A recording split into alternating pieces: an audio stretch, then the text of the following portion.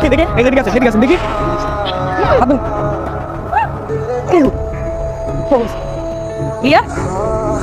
ঠিক আছে আপনি? অসভ্য কি মেয়ে মানুষ দেখলে গায়ে হাত দিতে ইচ্ছে করে তাই না? দেখলে তো মনে ছেলে। কাজ কাম দেখে তো মনে হয় না। সাহস কি তুমি আমার গায়ে হাত দিতে শুন তো কালকে তোর হয়েছিল ওই ছেলে তোকে বাঁচাইছে। আর তুই কি করলি? ঠাস করে থাপ্পড় মেরে দিলি? আমি এখন কি করব বলতো? তো অনেক খারাপ লাগতেছে। আমার মধ্যে সরি বলা উচিত। এক্সকিউজ মি আমি সেদিনকে একটা ভাইয়াকে চর মেরেছিলাম। উনি কি এখানে আসেন? মাঝে মধ্যে আসেন। আপনি আমার একটা হেল্প করতে পারবেন প্লিজ আপনি আমার নাম্বারটা একটু রাখবেন উনি যদি নেক্সট টাইম এখানে আসে আপনি প্লিজ আমাকে একটা কল দিন আসলে আমি অনেক গিলটি ফিল করছি ওই দিনকে পর থেকে। আমি একটু ওনাকে সামনাসামনি সরি বলতে চাই। কিন্তু ভাই আমি ভাবতেছিলাম যে ওই ডিজাইনের হাত নামান তাহলে হাত দিয়ে রেখেছেন কেন? আরে বাবা মারবো না তো হাত নামান আমি এক্সট্রিমলি সরি আসলে সেদিনকে না বুঝতে পারিনি যে আপনি আমার লাইফ সেভ করার জন্য এত কিছু করেছেন। আপনি এত জোরে পারবেন জানলে জীবনেও আপনার জীবন বাঁচাতে যেতাম না।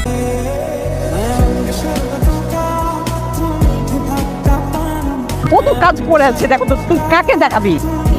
আসসালামু আলাইকুম আন্টি। আমি রিয়া। কি সুন্দর।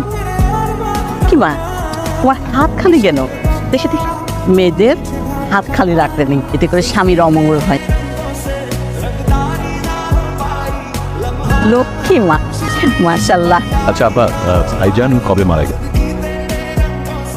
কি প্রশ্ন করো? ভাইজান তো মারা যাননি। উনি তো সেপারেশনে আছে তাই না তো? আসেন আমরা ওদের বিয়ের ডেটটা ঠিক করে ফেলি। সামনের শুক্রবারের কথা কি? আগামী সপ্তাহ কেন? এই সপ্তাহতেও যদি ডেট করেন না আমাদের কোনো সমস্যা নেই নাকি বলো? কিন্তু আপা বিয়েতে কিন্তু ভাইজানকে থাকতেই হবে। কি ভাবলেন কি ভাববো? আগামী সপ্তাহে বিয়ে অফিসে ছুটি পেয়ে গেছি। মামাকে জানা দেওয়া হয়েছে আমার তো একটাই মামা। আমার নোয়াখালী থেকে ঢাকায় চলে আসবে খুব শীঘ্রই। আর বাবা? বাবাকে কেন লাগবে? মানুষের কি বাবা না থাকতে পারে না? আনিস এটা নিয়ে আমার ফ্যামিলিতে কথা হচ্ছে। ধরে নাও আমি এতিম। এতিম ছেলেদের বিয়ে হয় না ধরে নাও আমার বাবা মরে গেছে। হ্যাঁ বলো। বাবার খবর পাওয়া গেছে আপনি কে? এটা কি জাফর সাহেবের বাসা? জি বল। আমি জাফর আমি আনিস জি আনিস বলে। আমি মালিবাগ থাকি।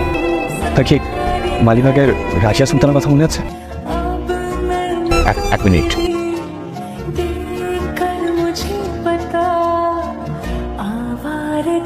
তুমি আমার ঠিকানা পেলে কোথায় তোমার মা দিয়েছে না? এত বছর পর। কি কারণে এখানে আসতে হলো? আমি আপনার ছেলে। আপনি আমার বাবা। আমি আমার বাবাকে খুঁজতে আসছি। এখানে উদ্দেশ্য কি থাকতে পারে?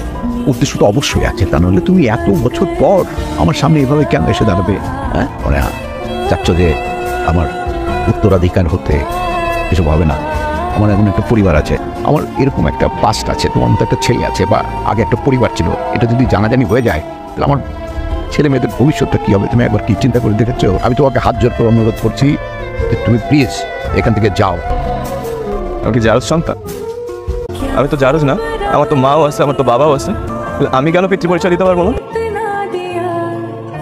ভয় নাই। আমি আপনার সম্পত্তি নিতে আসি নাই। আপনার কিন্তু দেখতে আসছিলাম যে বাবা জিনিসটা কেমন। বাবা তিতা নাকি বাবা মিঠা? বাবা কীভাবে আদর করে, বাবা কীভাবে শাসন করে? আমি এখানে কেন আসলাম জানেন? সামনে আমার বিয়ে। আমি ভাবছিলাম যে বিয়ের দিন অ্যাটলিস্ট বাবা আমার সাথে দশটা মিনিট থাকো মাকে অনেকবার আপনার কথা জিজ্ঞেস করবে মা কিচ্ছু বলে নাই কখনো বলে না আপনি ভালো থাকেন। আমি দোয়া করি আপনি ভালো থাকেন। আমি আসছিলাম আজকে আপনাকে একটু জড়ায় ধরে আপনার গন্ধটা একটু নিয়ে যাব।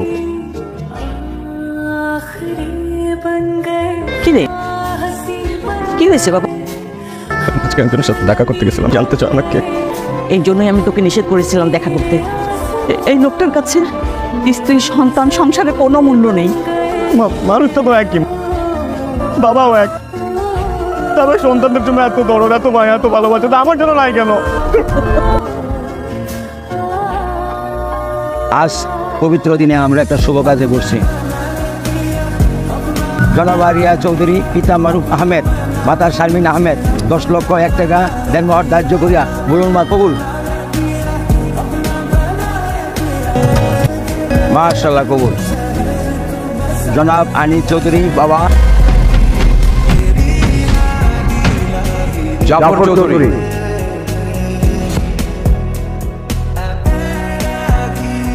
মাহে চলো বাসায় চলো।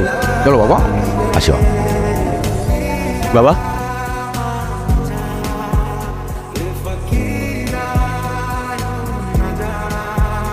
আমি তোর সাথে অনেক অন্যায় করেছি। বছরের পর বছর তোকে বাবার স্নেহ থেকে বঞ্চিত করেছি। তোর সাথে তোর মায়ের সাথে পারলে আমাকে মাফ করে দিস, বাবা। বাবা, আপনাকে ক্ষমা করার মতো স্পর্ধা আমার নাই। আপনি আজকে আসছেন। আমি খুব খুব খুশি আছি, বাবা।